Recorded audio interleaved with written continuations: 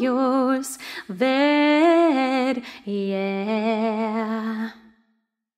One happy birthday dot com.